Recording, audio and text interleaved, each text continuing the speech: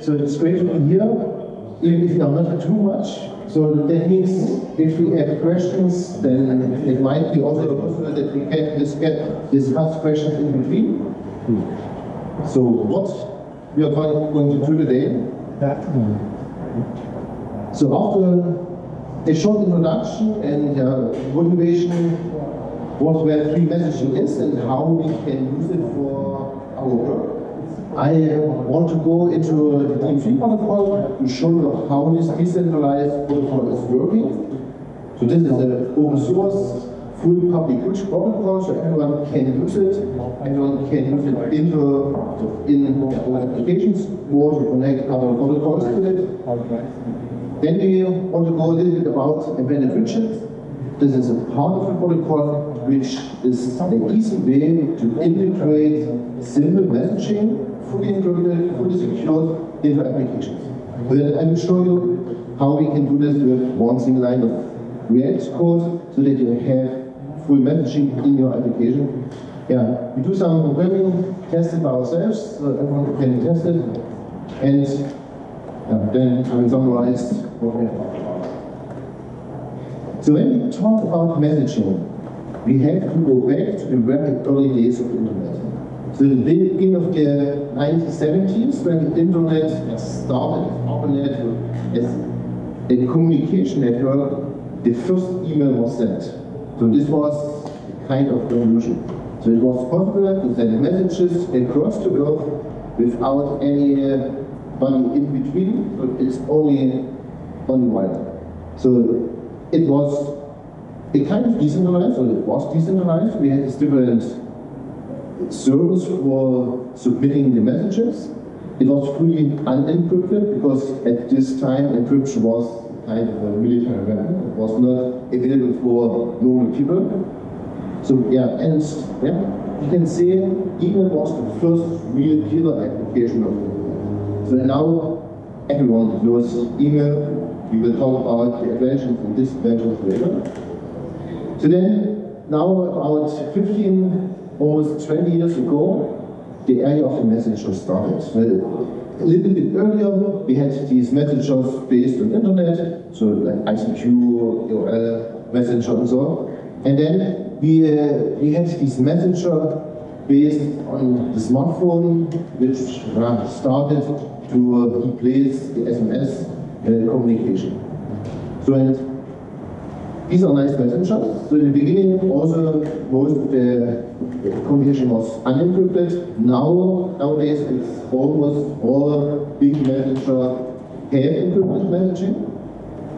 But we also see that in a lot of applications, we have messaging components. Uh, almost every important website has some messaging inside. The social media, like Twitter, WhatsApp or Facebook and so on, they have included messaging. But also company sites, they have uh, chat that you can contact the, the company and so on.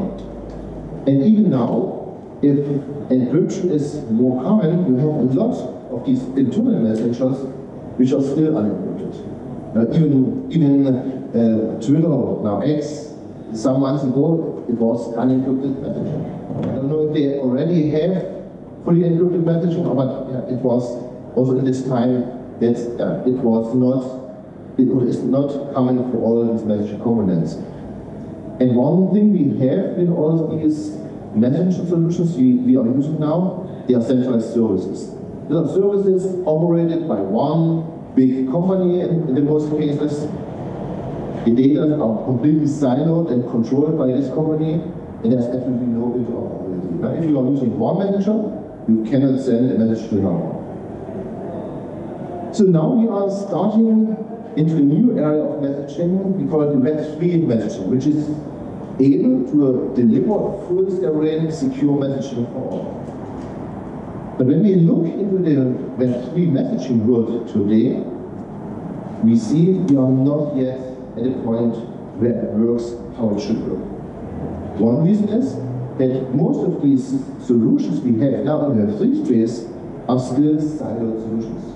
Right? They, they have different protocols, they have different services behind it, even if they are using Web3 technology for security, they are not yet connected. And to have a real working Web3 messaging world, we need interoperability. It's absolutely essential. Right? We have small communities with nice messaging solutions, but to become really successful, we need interoperability. So what are now the problems? I have mentioned most of them. Encryption, email, no encryption at all. I don't know who of you tried to receive encrypted emails. So I did send my public key with my emails for years. You can guess how many encrypted messages I received. You don't need one hand and no fingers. Not a single email I receive as an encrypted email, even if I published my, my public key. Privacy is also a very important topic. If it's not encrypted, of course, there's no privacy. Sending something per email is I'm putting someone something on a wall where theoretically everyone could read it. But even if you look in the messaging world where we have end-to-end -end encryption, privacy is not given there. The privacy for, for the content, yes, but not for the for the transmission or the meeting data. Eh? The, the provider knows who is messaging whom at which time. So here we need an improvement as well. Self-sovereignty, if you have a messaging service and you want to move a message to another, you will have some problems because like, you are not the one who controls the messages it's the provider in most cases. Yeah, interoperability, I already mentioned, you cannot send a message from WhatsApp to Telegram. It's not possible for now. And you cannot do this actually in some of the new web messaging services as well. So that's a real topic we have to, discuss. Centralization and single points of failure, we see these big messaging services, sometimes they fail. And in Germany, even the biggest ones in the last 12 months, there was some hours downtime, no messaging possible. And, and, and if I'm blocked for one reason ever from such a service, they control my identity. If they block me, I'm disconnected to all my communications. Yeah, and last but not least, spam. All of us know what spam is. In email world, it's the, the most messages are spam. Fortunately, there are some filter mechanisms now which uh, select and unselect some messages. This works good or not good, depends on the provider, depends on the type of message. So my, what my inbox is, even if I use a lot of spam filters full of spam messages. And sometimes good messages are in the spam folder. It's a, it's a real topic which is really hard to solve with that tool technology with uh, free technology, we can do a lot to make it easy to prevent spam senders from sending it. Yeah, so what can Web, 2, and Web 3 can do better than we have in Web 2? So first of all, everything we are doing is key-based. So I have keys, and I can derive from these keys, encryption keys. So it's, it's nothing I have to reinvent. We have it in Web 3, and we can use it. Self-sovereignty is something we have in our ethos. We want to have people having the control over their data or whatever. The same which is valid for coins, not your keys, not your coins, is valid for messages, not your keys, not your communication. Decentralization, one important part of this conference, is absolutely essential.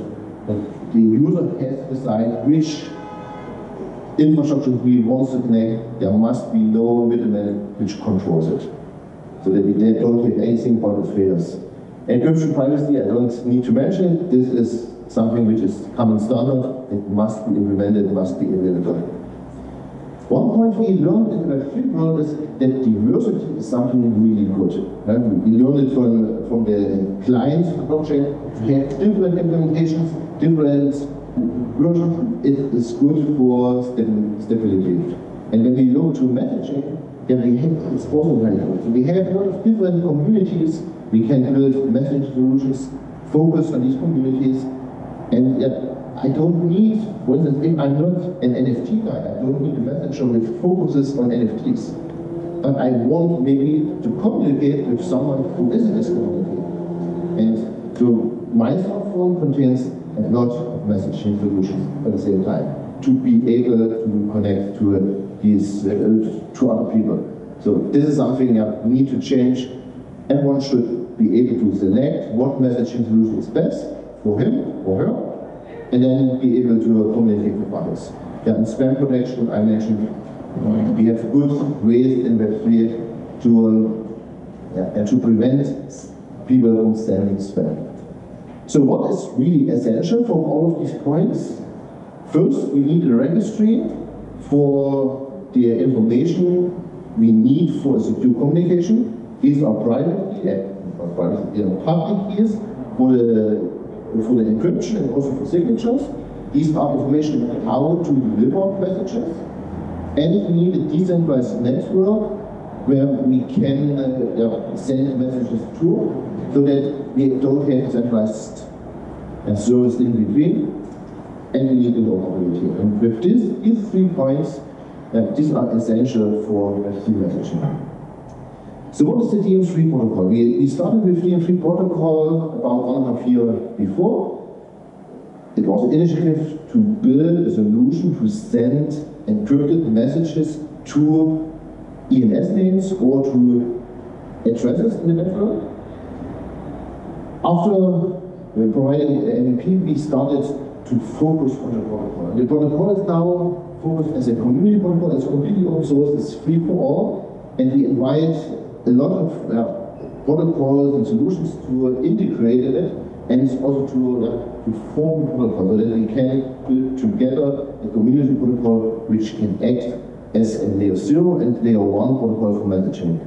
Why both? That layer 1, you can use the protocol to directly build your messaging solution on top of it, and layer 0 that you can have, if you have an existing solution, you can integrate it very easily. We are using ENS as registry for it, so that we have in ENS the information how to connect and how to encrypt messages. Besides ENS, we also are able to integrate any other registry, be it on another chain, on layer 2, or even on centralized service with CCIP, cross-chain interoperability protocol, we can integrate it into ENS very easily. Then we have this centralized network of nodes which act as relays between the sender and the receiver. Yeah, this yeah, everyone can run such a node or use existing nodes. So that's why we have a good decentralized network of these nodes already As I mentioned, we are using ENS as this registry. Why we are using ENS? It is a commonly used uh, it's easy, as I mentioned, to integrate other sources using CCIP. And why do we need such a decentralized application? Because we need a central registry. It sounds a bit strange that we need a central registry, and that's why we need a decentralized application, so that everyone can use it without permission and without control of others. So how does it work? We, uh, we have this network of delivery service nodes, and if a sender wants to send a message to someone, you go to the registry, get information how to encrypt and how to deliver a message. Then selects one or another delivery service node, sends the message, the message is stored. I, I, I will show you in detail in a few seconds, and then the receiver can uh, get the can, can get the message from this relay delivery service. And also these services can act as gateway to other networks so that the user can send it to the delivery service and the other delivery services injecting the message into another network.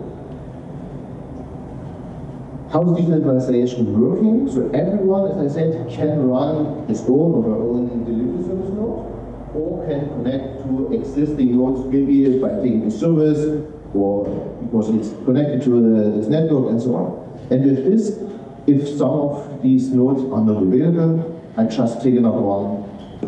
Yeah, from that possible, we have a good decentralized network which scales by design. But if we need more, uh, more capacity network, we just can run more delivery services and by this making the network yeah, growing with the demands. Yeah, as I said before, it's also very easy to use as layer zero protocol, which means you can use, if you have your own protocol or own service, may it decentralized or even decentralized service, you can plug in in DM3 by having a delivery service which injects the received messages in the other network. And if you you need also a registry for your information and whatever where you have organized this registry, you can integrate it in the ENS on a subdomain using CCIP, and with this it's available for all to have this uh, connected communication. And in the other direction, it works in the same way. You send the message out through the network over key layer, and then it's injected in the DM3 network as well. This I will show only very short. Today we will only work on a very small portion of it because uh, it's we don't have too much time. So we have this blockchain layer, which is the is used for the registry in ENS or in others using CCIP to integrate it, as I mentioned. Then we have this protocol layer, where the message transport protocol is the essential part to make the transfer from A to B for message. And then there are a lot of different protocol extensions for use cases in messaging as you need it. Not, not all of them are already implemented, so none of them are as well in production or in discussion with the community how it's needed and how it can be used. And then we have an application layer where we have the interfaces to existing uh, networks. This is in development now. We, we have everything is published and we are in discussion with a lot of protocols and services that they start now to integrate. And we have on the other side these DM3 messenger components. So our intention at the moment, even if we have uh, reference information, is not to provide a messenger. We are a protocol, we are providing these components so that you can use it in your applications. And today we want to talk about these embedded widgets, so and, and see how it is possible to use such a widget in an app with one line of code, we have fully secure featured messaging in your application. Yeah, let me show how the workflow is. I have to look at the time if we don't go over the time. I only show it very quickly, and but it should show how this decentralized protocol works. If Alice wants to send a message to Bob, she starts by looking into the registry, what are the well what are the keys and the äh, delivery service of Bob, and also what are the information from the delivery service. Then the message is encrypted and, and sent to the delivery service of Bob. Here it is stored for the time until Bob gets the message. Bob might be at Bob, Bob might be offline at this time, and so that's why the message is, is stored in the cache fully encrypted still, and the deliverable is not able to decrypt it, can only decrypt the envelope to see who is the message addressed to and what are some metadata, but nothing more. So, yeah, this I already mentioned. So, and then if Bob wants to, um, to receive the message, he asks the delivery service, is there any message for me? And if so, he receives the encrypted envelope with all the information, still fully encrypted. Then again, also Bob goes to the registry, gets the information, what are the keys from the delivery service, what are the keys from the sender, then again decrypt the message, and after Bob stored the message in his app, wherever this is, it might be local, or in cloud service, or decentralized, IPFS, it depends on the application. The, the user is informed so that the message can be deleted. So nothing is left in the network from its communication. And we have a direct communication from Alice to Bob. And completely uh, encrypted, completely secure. Privacy, we have the privacy now for the content, to have privacy also in the metadata, there are protocol extensions that we don't send it directly, but today this is not it. Yeah, now let's go to a part where we can do something together. To build an application, to integrate the DM3 components, so that we can use this different protocol for messaging. So we have these embedded widgets. The version I present now is the beta version. There will be a new version given later, so that it is completely white label, so you can configure it how you want. And often there's the question, why are we offering these components? Is this something we want to have them in our service? No, not at all. So these components have the intention to enable fully decentralized and uh, fully interoperable messaging. So if you have a website, for instance, let's say it's a website of a business, and you, have, you want to have a component where people can write messages to some colleagues. Then you can use such a component which is connected to DM3 network. They can directly log in your site, uh, log in with, uh, uh, with their signature and send a message right away. So this is how other messengers are working as well. But I don't know if you have used these in uh, embedded messengers from other sites.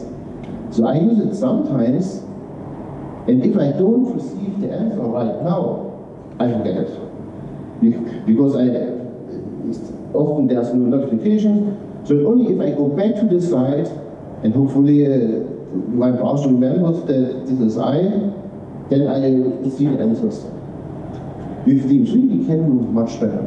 Then we, we also we start with these anonymous keys. So you can directly sign in with your wallet and send a message. But at this time, it's anonymous. You have to go back to the site. But you also, we call this limited scope profiles, you can have this limited scope profile and connect it to your main inbox. And whatever application you're using, maybe the DM3 reference application or any other DM3 compatible messenger, you can connect this uh, messaging window to your uh, to your uh, home messenger which means you have all the information, all the communications on one place. And if you are, if this is an important message, for instance, I contacted my server provider because with the, technical, something was not working. And after three months of waiting, I didn't look at it anymore. And after a while, I discovered, oh, they did send a message. It would, would be helpful, but yeah, I was not in this communication. So with DM3, I would connect it to my inbox, and if they are answering, I have the message directly in my inbox. And I, I have it connected to my communication, uh, communication center. So today, want, I will show you how to build and uh, take any React app and integrate DM3 in this app. So if you want to follow it, so I have a Gist, you can uh, scan this QR code and directly yeah, get to the to these informations. Otherwise, I will do it now on screen so that we also can do it together. But some data are, have to be copied, so that's why it's easier if you have this, this GIST page directly. So I think these slides will also be uh, published later so that everyone can, uh, can then yeah, do it by immerse the data. Okay, let, let me let me start here.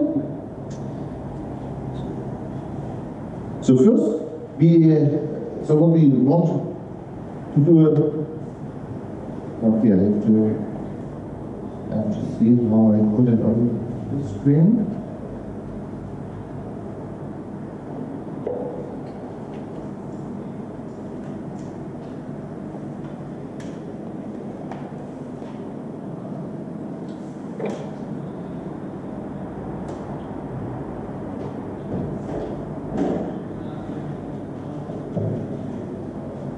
I've stop the presentation here and good.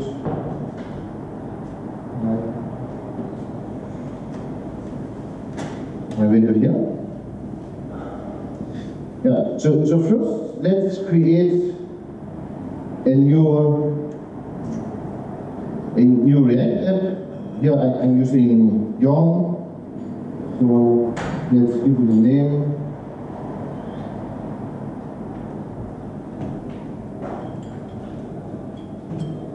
Workshop. Start. So now the React is, app is created. This is some magic done by React. So we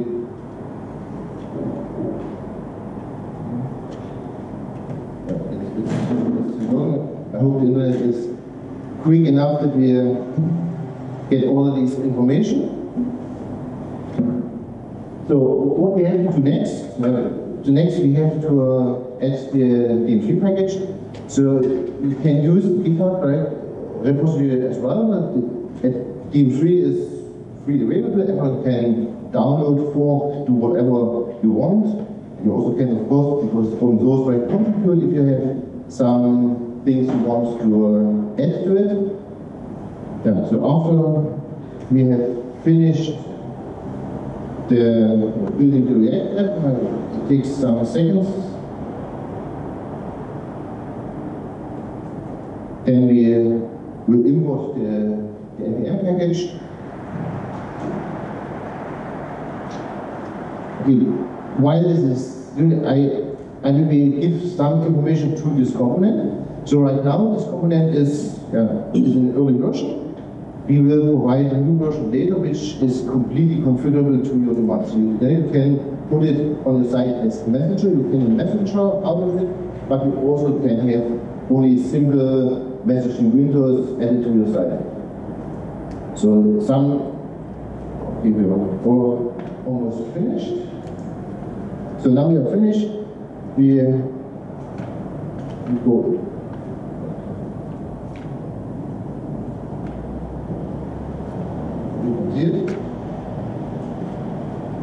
So we go into the workshop pad, but now, and now I install the React package by Yarn at dm3 uh, minus React. So now we have the, the package available so that we can start using these components.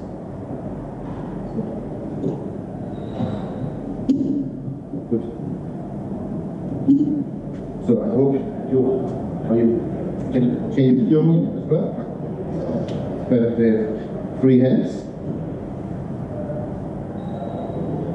So after we have added the, the package, we have to, to add an environment. So what we are not doing today is setting up a delivery service. Of course, everyone can do this by themselves. You can run your own delivery service and configure it as, as, the, uh, as your communication relay. To make it easy today, we, we just using the existing delivery, one of the existing delivery service from, uh, from DM3. So this is, this is the delivery service of the, the beta version. So I just copy this in your Gist, you have the same information as well. So it's, it's the, while, while running, I can open the folder. Into workshop now. I trust this code. So, and and now I uh, add a new file, the .env file, where I uh, add this information.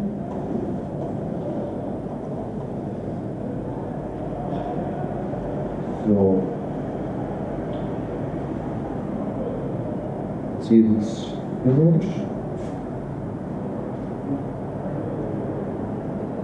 So now, now it, it, it should be finished. So now we, we have uh, a running or existing reactor. Uh, if we uh, start it, you know, start,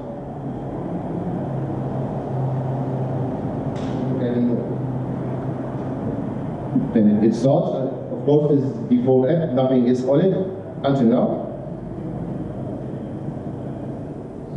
So now let's go back to, uh, to our application. And first we have to import the DM3 package. We have to import DM3. Oh, that's just probably it.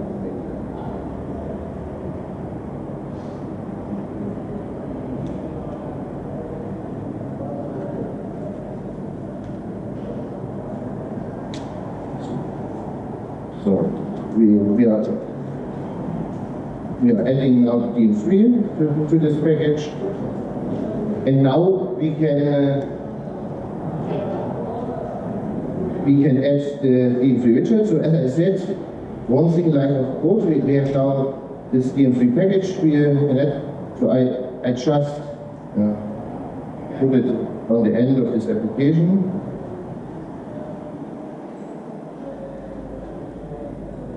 So what we have inside now is we have a default service URL.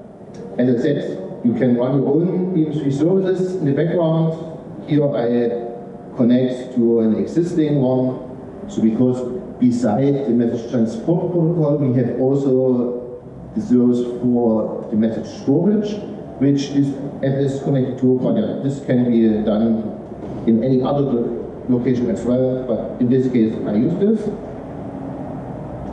So now it's again compiling.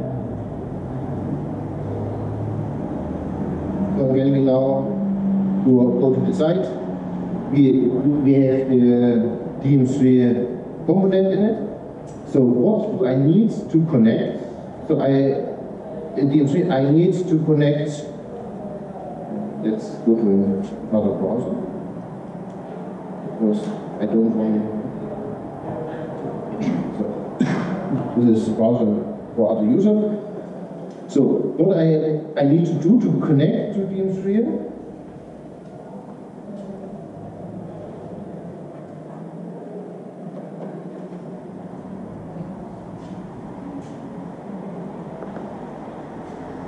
is I, I have to uh, select my wallet and, and to, uh, to sign a message yeah, let, let's take, well, I can, let's take it for a new account, So now I have created a new address, so and now I can, so I, have to uh, connect it. In, in Mailbox it created, it's not connected, so now it's connected, and now I can sign in. So this is the, the what happens normally when I connect with DM3. I have this message which shows that now I am connecting and this is only one time the message to connect to the DM3 uh, uh, message storing service because we are, we are to a quality service right now.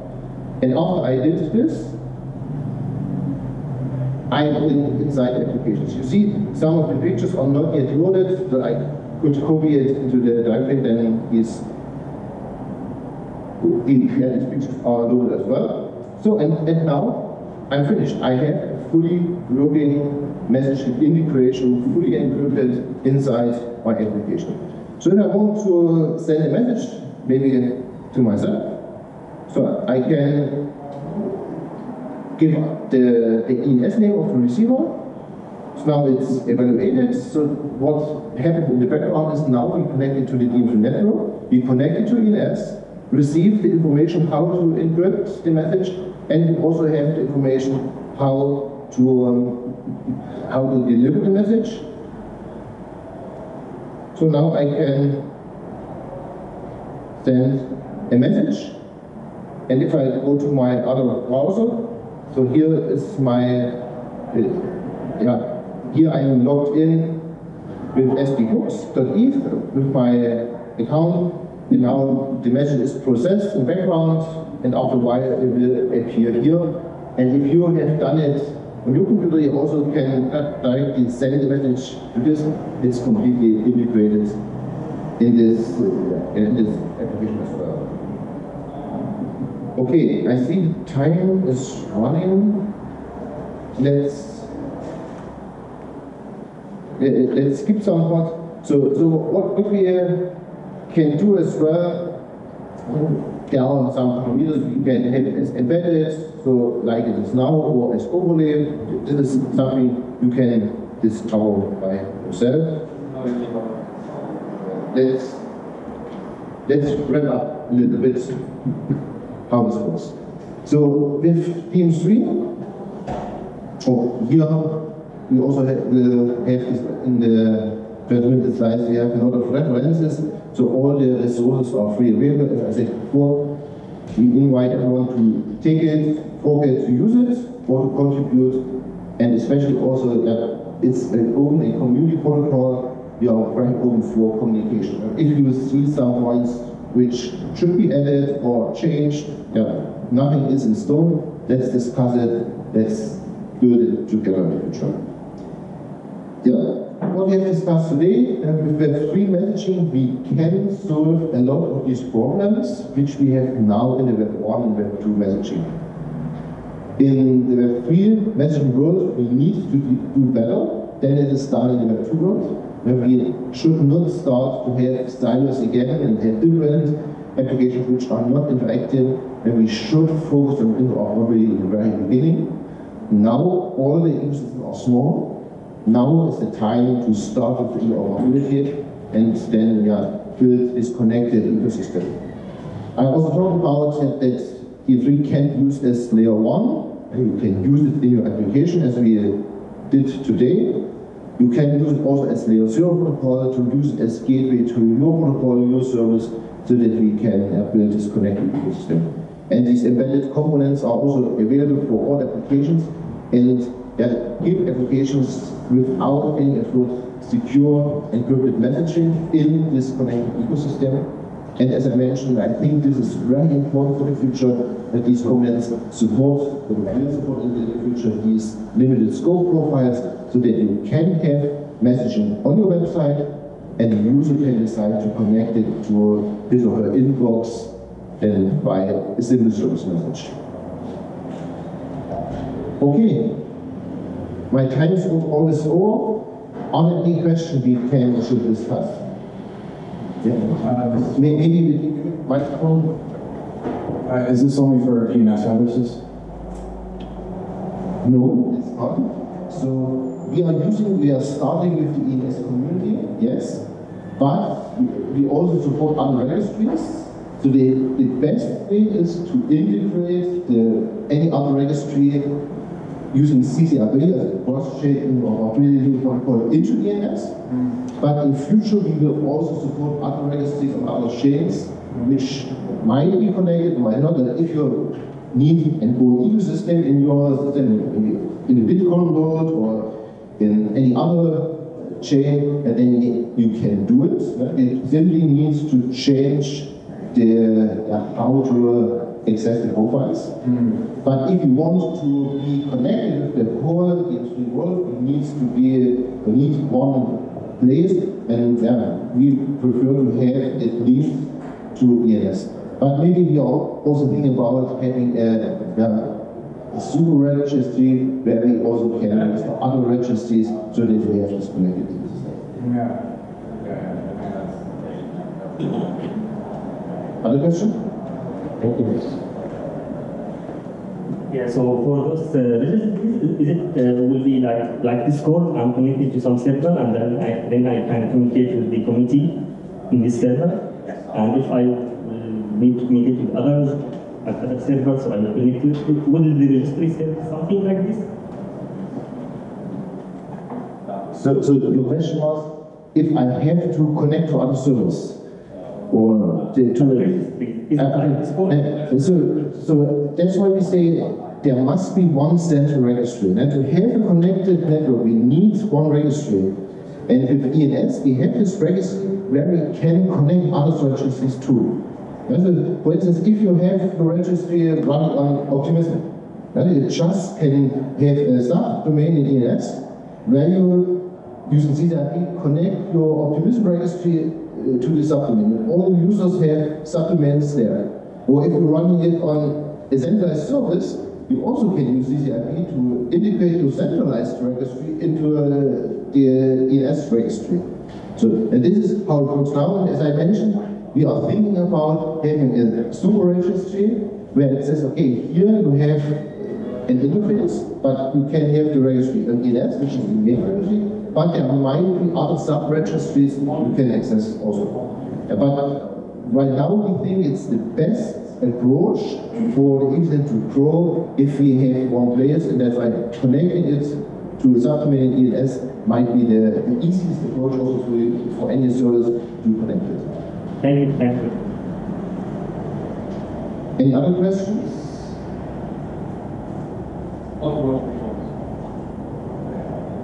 If this is not the case, then thank you very much. Yeah, let's build together the communication of the future. Let's build on top of DM3 and all the other nice messaging protocols we have in the Web3 space and connect each other and yeah, do something what is at the moment in the Web2 world not possible. That we can be connected over all the boundaries of our applications and then yeah, also go to the Web2 world. It's also easy for them to integrate in this network so that we hopefully in the near future get a connected network where the user decides what is the best app for my application or for my usage. And I don't care what the other one is using, I can send a message and receive messages. Thank you very much.